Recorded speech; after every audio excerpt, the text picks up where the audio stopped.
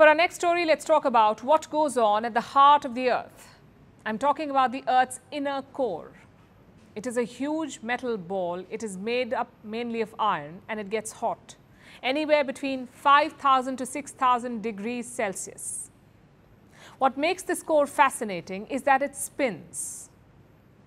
Think of it as one spinning top, that is the core, inside another bigger spinning top, that is the Earth but the two do not spin together.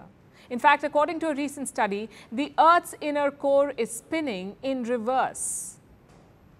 What does this mean for us? Here's a report. The Earth seems to have had a change of heart. We're talking about the Earth's core, the innermost part of the planet. Its spin has changed dramatically in recent years. According to a recent study, the Earth's inner core temporarily stopped rotating and then changed its direction. It's now going in reverse. This might sound bizarre and it invites a number of questions. Does this mean the Earth is also going in reverse? Is this apocalyptic? Well, not at all. But before we explain what this means for us, let's go back to Science 101. The Earth is made up of a lot of layers, and it's a volatile planet. The topmost layer is the crust, it's ever shifting. Then we have the mantle, this is where behemoth masses of rock flow. Go deeper and you will reach the core. This has two levels the outer core, which is liquid. It holds molten metals that create currents. They conjure the Earth's magnetic field. So, this layer is important. Go even deeper and you will find the inner core. This is a solid metal ball, about 70% as wide as the moon, and it rotates much like our planet. But here's the catch. The inner core rotates independently of our spinning planet, kind of like a spinning top inside an even bigger spinning top. And the two don't always cooperate. The Earth spins roughly 360 degrees in a day. That's how it completes a single day but the inner core rotates about 1 degree faster than the Earth every year. So this causes time differences. Of course, 1 degree per year is not a lot. It's imperceptible to Earthlings, but scientists can track and measure the difference. When the core spins slowly, the liquid around it speeds up, so the Earth rotates faster.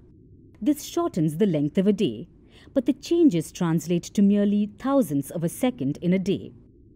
That may sound anticlimactic, but it's intriguing to researchers, especially since the inner core is a relatively newfound discovery. It was discovered by Danish seismologist Inge Lehmann in 1936. The question remains why is the core going in reverse? Scientists are not sure, but according to the study, this could be part of a 70 year long cycle of the core's movements, which sees changes due to the magnetic field so the reversal in the spin can be part of the core's nature. Even though the core is at the heart of much of what happens on Earth, from volcanic eruptions to earthquakes, we don't know much about it. It is the Earth's deep interior, so it's impossible to observe or sample directly.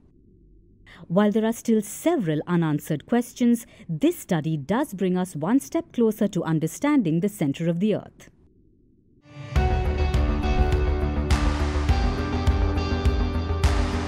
Across continents, one powerful news source. Bringing you diverse perspectives on the issues that matter.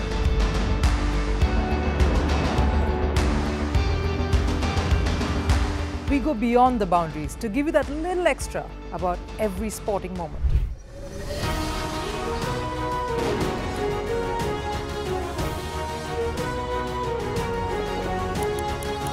So thank you for making Firstpost 5 million strong.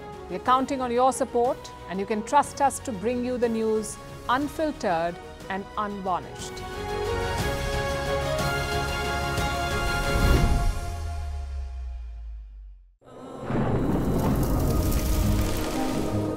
Climate change is on our doorstep.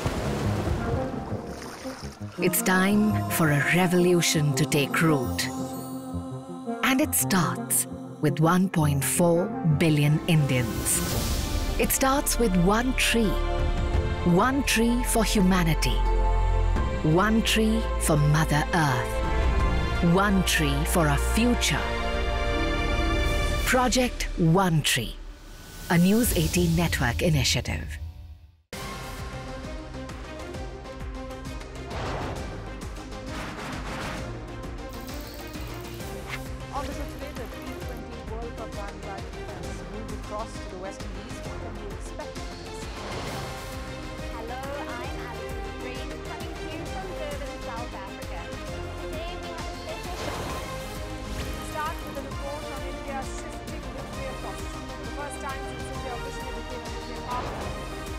And welcome to First Post America. I'm Eric Ham, coming to you live from the nation's capital in Washington, D.C.